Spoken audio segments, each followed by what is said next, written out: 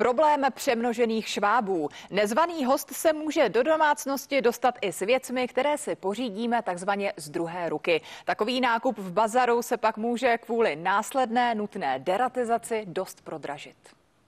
Použitá lednice, mikrovlnka nebo třeba gauč. Většinu z nás by ani nenapadlo, že se v použitém nábytku nebo spotřebiči můžou skrývat šváby. Šváby, konkrétně z Rusa domácím, bývá, že jsou dost často za ledničkama, jako třeba tady v tom případě. Takže když to teďka odtáhneme, tak oni se snaží dostat do těch tmavých míst a kor lednička má za sebou ten kompresor, který je zdrojem tepla. Když bude trošku blíže, tak tam ty místa jsou krásně vidět tuhle chvíli vlastně pozorujeme meziroční nárůst o 32%, to znamená, jedná se o celkově veškerý švábovitý hmyz. Poslední dobou se objevují i v domácnostech, kde si třeba jenom někdo koupí z bazaru nebo z druhé ruky, například mikrovlnku, kde ty bohužel šváby můžou být. Kromě toho, že šváby dělají v domácnosti nepořádek, tak můžou mít i neblahý vliv na naše zdraví. Šváby jsou potenciálním zdrojem alergií, pretože eh, majú, mm, prenášajú proteíny, ktoré môžu vyvolať u citlivých osôb alergie. Pokud šváby nejsou extrémně přemnožení, můžeme se jich zbavit jednoduše.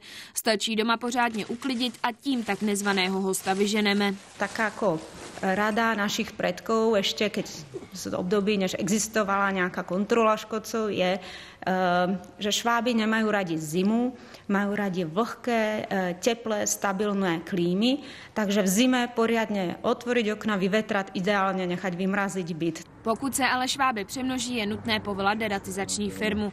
Cena takového zásahu v dvoupokojovém bytě může být až na 10 tisíc korun. Důvodů, proč je šváb v Česku rozšířenější víc než v minulosti, je mnoho. Jedním z nich je oteplování, ale může za to i cestování a migrace. Nejvíc nás pak šváby můžou potrápit v panelácích. Mezi byty se totiž šíří po stoupačkách. Nejčastěji se pak vyskytují v ubytovnách, pekárnách a nebo hotelech. Valerie Fischerová, CNN Prima News.